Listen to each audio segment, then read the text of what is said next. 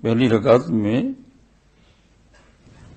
یہ قربانی کا اصل فلسفہ اس کی حقیقت کیا ہے، عید قربان کی۔ اللہ جل شاہ نے صرف ایک آیت میں اس کو بیان فرما دیا۔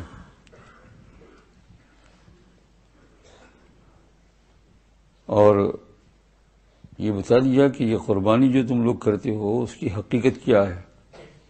اس کا فلسفہ کیا ہے؟ اس کی غرض کیا ہے؟ یہ رکعت اول میں سنا سترویں پارے میں قرآن پاک کی۔ اس میں قربانی کا گوشت جو ہے، وہ کھانا کھلانا تو ہے ہی ہے۔ غریبوں کو کھلانا یہ بہت زیادہ ثواب ہے، جو جتنی زیادہ حاجت مند ہو۔ لیکن سب سے بڑھ کر جو ہے اس کا فلسفہ اللہ جل شاہ نے فرمایا، لن اللہ لحومہا ولا دماؤہا ولیکن ینالہ التقوی منکم. یہ ہے آیت کریمہ جو آپ نے فجر کی نماز کی رکعت اول میں سنی۔ فرمایا، تمہارا گوشت ووشت نہیں پہنچتا اللہ پاک کے پاس۔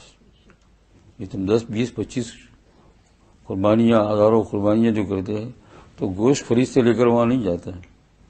لیکن اللہ لحومہا، اللہ جل شاہ کے دربار میں یہ گوشت نہیں پہنچتا ہے۔ یہ تمہارے کھانے کے واسطے ہے۔ لیکن تم جانتے ہو کہ تمہارے پاس قربانی کرائی کیوں اور ابراہیم علیہ، حضرت ابراہیم علیہ السلام نے قربانی کیوں کی؟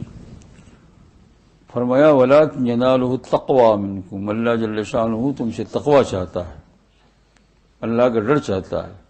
یہ قربانی ایک نشانی ہے، وہ یہ ہے کہ جیسے کہ ابراہیم علیہ السلام نے جانور کے، جانور کی قربانی کی بہت ہو عظیم اللہ جل شاہ نے اس کو قبول فرمایا۔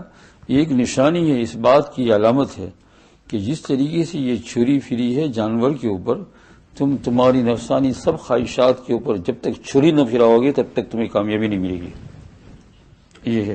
یہ قرآن پاک میں بیان کیا ہے قربانی کا فلسفہ۔ ایسا نہیں کہ گوشت کاٹ لیا اور جو ہے پایا کھا لیا کلیجی کھا لی اگر میں نے پانچ قربانی کی، میں نے قربانی کرنے کا ثواب بہت زیادہ ہے۔ اس میں کوئی انکار نہیں ہے۔ لیکن آدمی اسی کے اوپر بس کرے، نہیں، قرآن حکیم نے اس کا فلسفہ جو بیان فرمایا۔ حقیقت، لن ینال اللہ لحومہ اس کا گوشت وہاں تک نہیں پہنچتا ہے، اللہ کے دربار تک۔ ولا دماغ خون بھی نہیں پہنچتا ہے اس کا۔ پہنچتا کیا ہے ولا کی ینال تقوا جو اس قربانی کے ذریعے سے تمہارے دلوں کے اندر تم جو تقوا پیدا کرو گے۔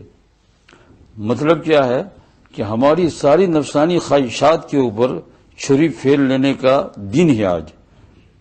ہر سال یہ دن آتا ہے قربانی کا۔ کتنی صبح سے لے کر شام تک، شام سے لے کر صبح تک کتنی ایسی خراب خواہشات ہمارے اوپر آتی ہے۔ اس کو ہم کیے جاتے ہیں ذرا سی دیر بھی روک نہیں سکتے ہیں۔